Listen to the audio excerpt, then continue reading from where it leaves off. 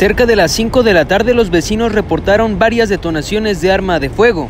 A la llegada de los gendarmes y paramédicos a los cruces de Emiliano Zapata y Francisco Villa en la colonia Alfredo Barba en Tlaquepaque había un menor de edad lesionado. El mismo afectado de 9 años de edad fue trasladado por familiares a un puesto de socorros para una mejor atención médica y se catalogó con estado de salud de regular a grave. Él tenía un impacto de bala en el tórax. Cuando las autoridades cuestionaron a los testigos, no refirieron ningún dato sobre él o los posibles causantes de este hecho ni las razones del por qué la agresión.